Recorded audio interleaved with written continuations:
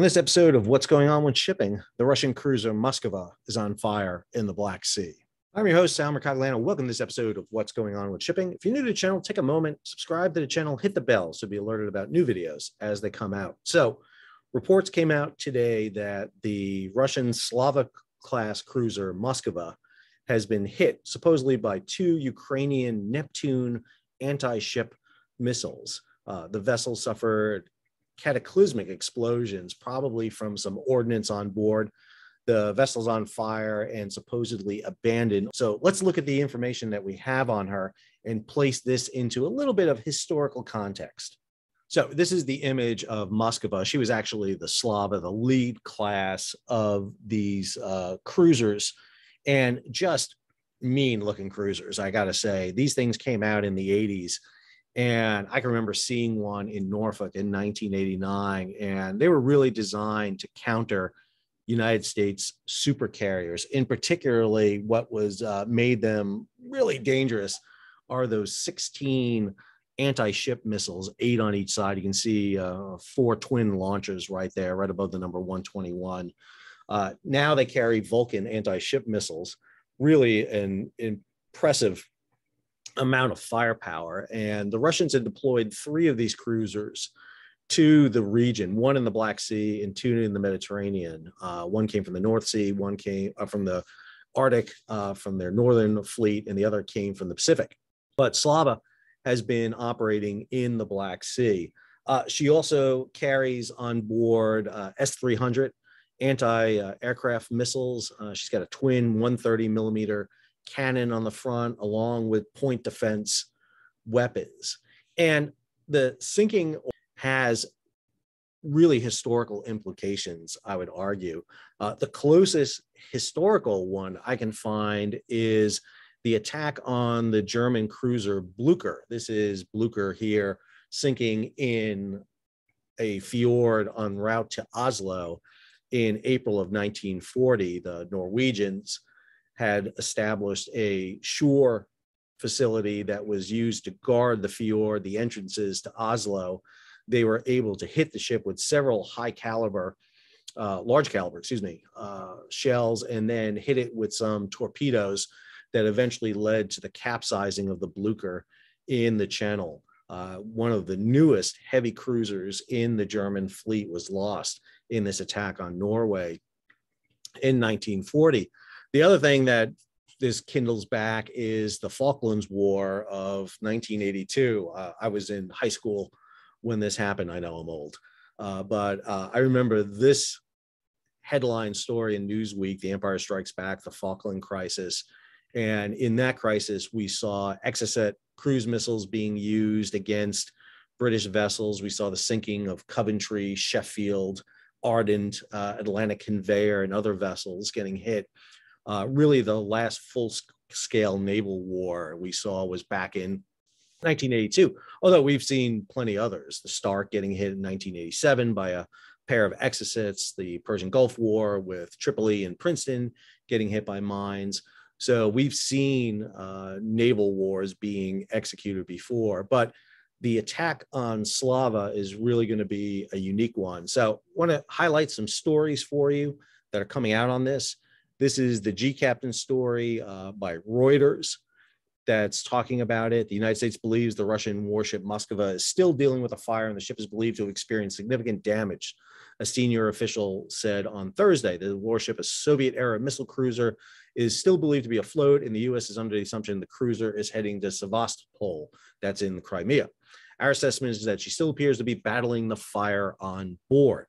Russians said the crew of the warship has been evacuated and measures were being taken to tow the vessel back to port. Uh, USNI, the U.S. Naval Institute, has a similar story talking about it. And in the story, they also featured the weapon that may have been responsible for it, which is this. These are Neptune cruise ships, uh, the, uh, cruise missiles, excuse me. They're a derivation of the Russian and previous Soviet KH 35 anti ship missile, although these missiles may have extended range to be able to reach out.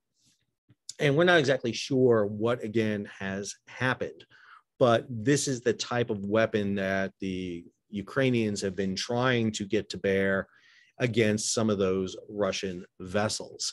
I uh, want to talk about some other stories here and some other issues. So, this is from Naval News. This is uh, H.I. Sutton at Covert Shores site, which is one of the best, I think, out here. And right here, you see what we know the latest on this. On the evening of April 13th, rumors surfaced on social media that Ukrainian forces had attacked the Russian cruiser Moskva, caused severe damage on board the ship.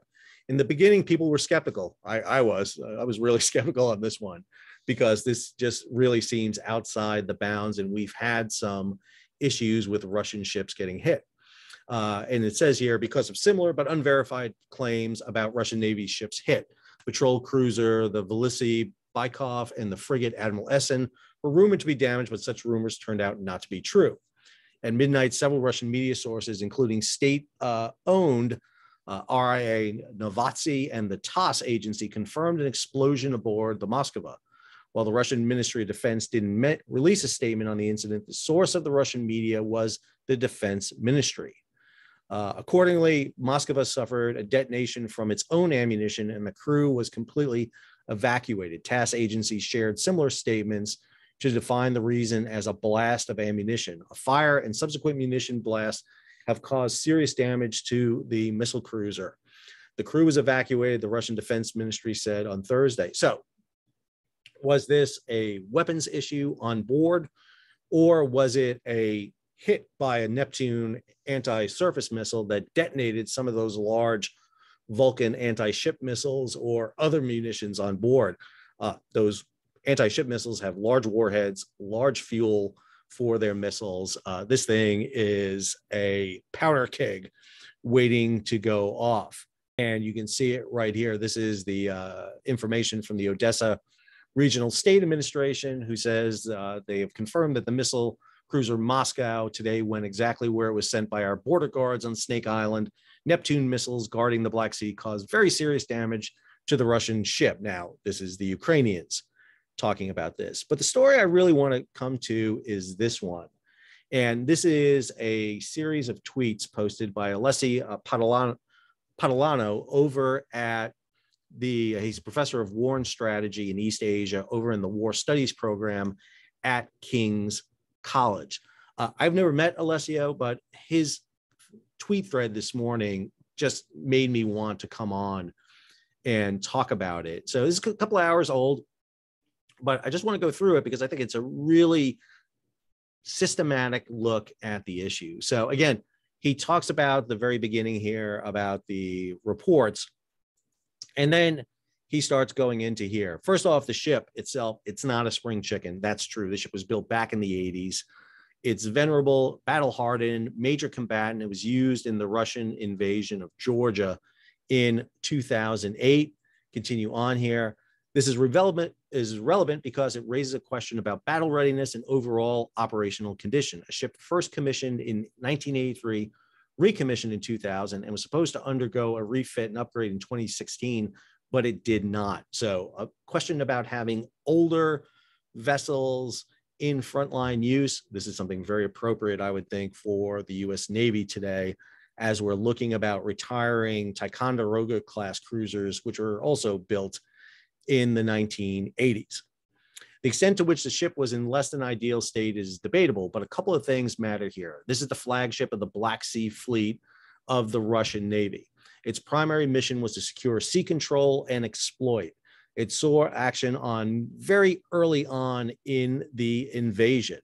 Perhaps the most iconic symbolism around the role of the Moskva is captured in the shelling of Snake Island, with the now image of the Ukrainian soldiers responding in kind to the ship, hailing them to surrender the ultimate David versus Goliath challenge, grit and determination. And remember, initially, and even I reported it, that it was believed that the 16 Ukrainians on board uh, or on the island, Snake Island, were killed. However, they weren't, they were captured, but still didn't stop them from telling uh, the ship to go basically pound sand. Let's be clear, though, this wasn't just about symbolism. Snake Island occupied a key strategic position for any operation versus Odessa to take place. The Russian Navy did what one would expect them to do early on secure it, as the map shows, is an important place to prevent ops versus Odessa. Further, the closure of the Bosphorus to all warships, it also meant that the ship would be there, be the main asset available to support Russian naval ops in the Black Sea. Couple that with the current shift in operational focus south.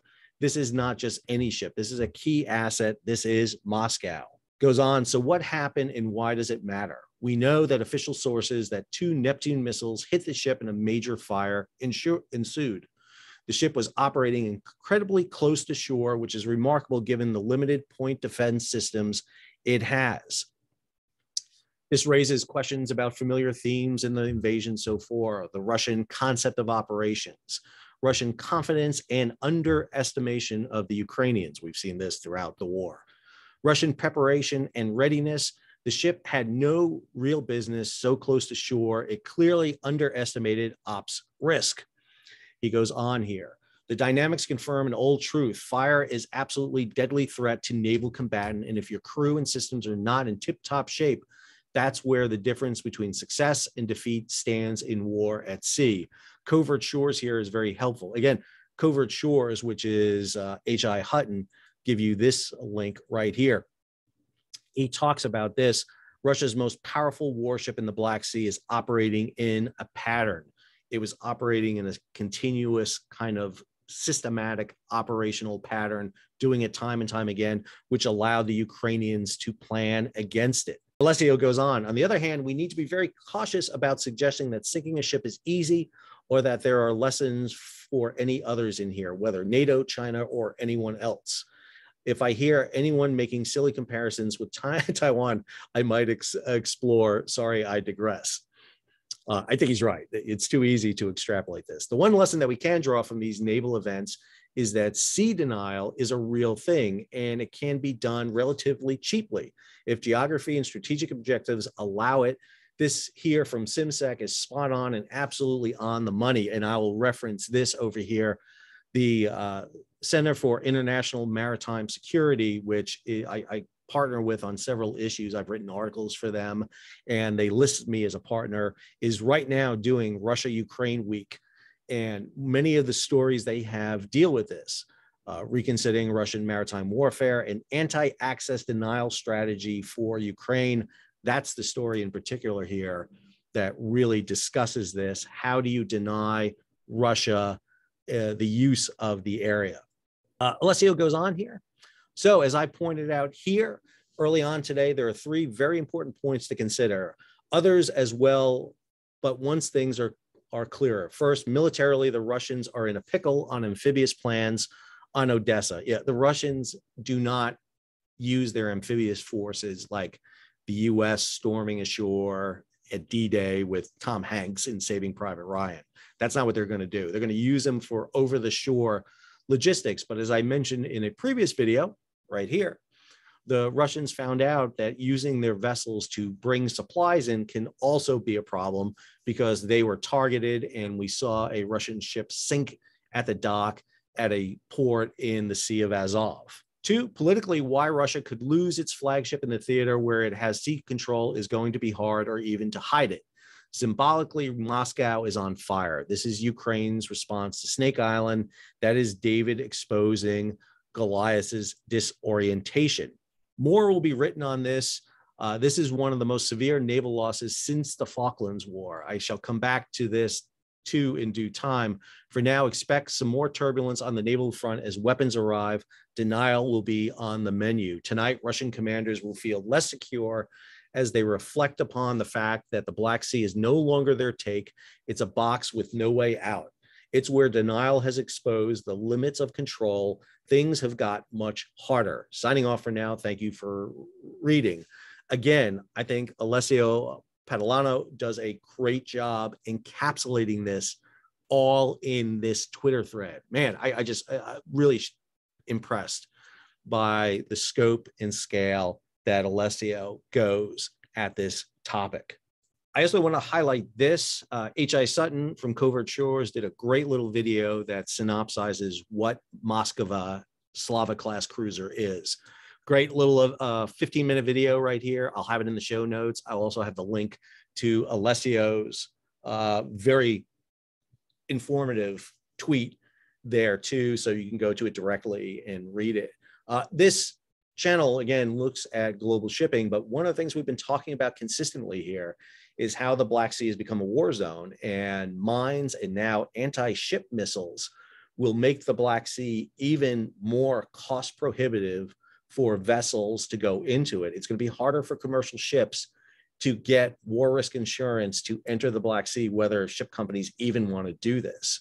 That means not only is Ukrainian exports not coming out in grains and crops, but Russian exports, Central Asian exports are not going to be able to come out of the Black Sea because it's going to be too expensive for ships to get insurance and operate in the area. What we're going to see is less vessel traffic in the Black Sea.